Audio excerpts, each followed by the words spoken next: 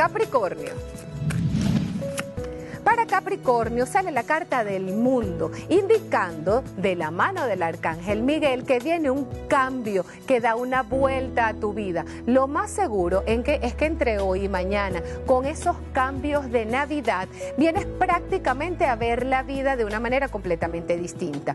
El arcángel Miguel dice, deberías sentirte feliz en estos momentos porque cortamos de raíz los problemas, las enfermedades, los bloqueos y los karmas, ya que entramos en una nueva etapa diversa, una nueva etapa donde vas a tener que elegir. Pídele en estos momentos y si puedes hacer un ritual de nueve días con el arcángel Miguel, si eres del signo de Capricornio, muchísimo mejor. También me dicen las cartas, las cartas del emperador. Ese cambio es muy bueno siempre y cuando tú tomes el control en tu vida sin dejar que otras personas te dominen por completo. Si quieres hacer algo que te nace y que te gusta, no dejes que los demás se inmiscuyan. El color para ti es el color lila para que puedas estar iluminado.